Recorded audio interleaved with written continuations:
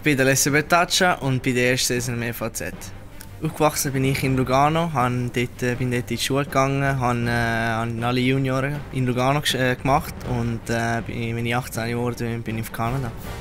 Am Hockey begeistert mich äh, sicher äh, zusammen mit anderen, anderen Spielern zusammen zu spielen und äh, alle zusammen auf, auf ein Ziel arbeiten.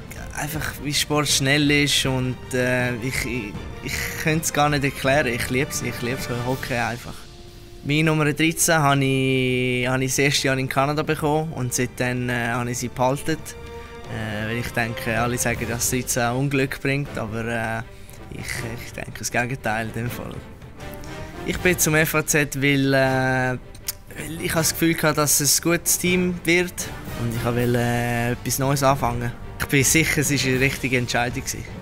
In meiner ersten Jahrsaison will ich zeigen, dass ich dass ich etwas machen kann, aber sicher, dass ich, dass ich in ein Team spielen kann und äh, dass, ich, dass ich ein bisschen mithelfen kann. Ich hoffe, dass wir diese Saison äh, sicher in die Playoffs reinkommen und dass wir äh, so weit wie möglich gehen können und äh, gewinnen